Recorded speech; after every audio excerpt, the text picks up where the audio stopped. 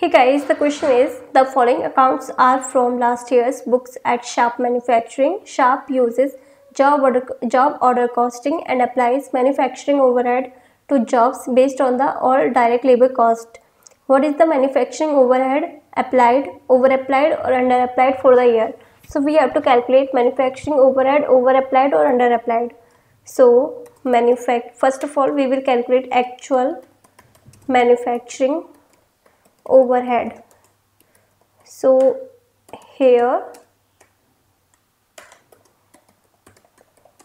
here manufacturing overhead account is this. So it will be is equal to p plus c plus t. All debit values will be added.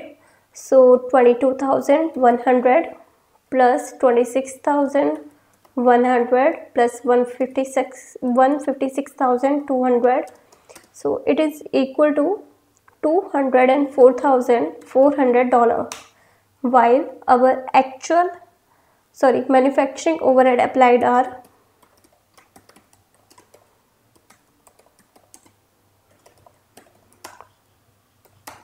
is equal to E, e here E point $210,500 so as we can see that manufacturing overhead applied are higher than actual manufacturing overheads so our manufacturing overhead over applied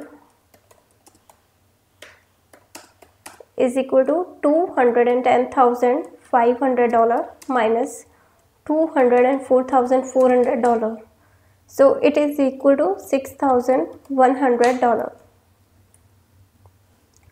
so the right answer is manufacturing overhead is over applied by $6100 here is our solution. In case any doubt you can ask me through comment box